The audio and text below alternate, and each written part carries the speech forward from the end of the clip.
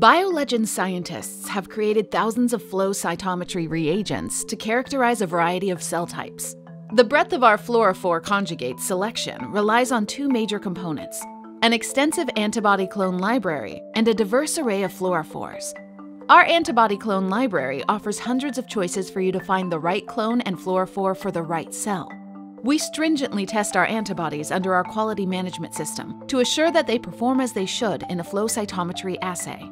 In addition to this antibody library, we provide dozens of fluorophore options to utilize in conventional or spectral flow cytometry, including our Spark and Fire dyes.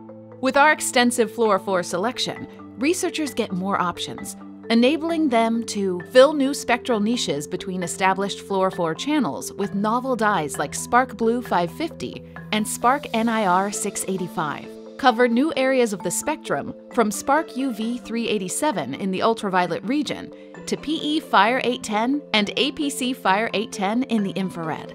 Reliably detect antigens with low expression using fluorophores with improved stability or brightness, like Kiravia Blue 520.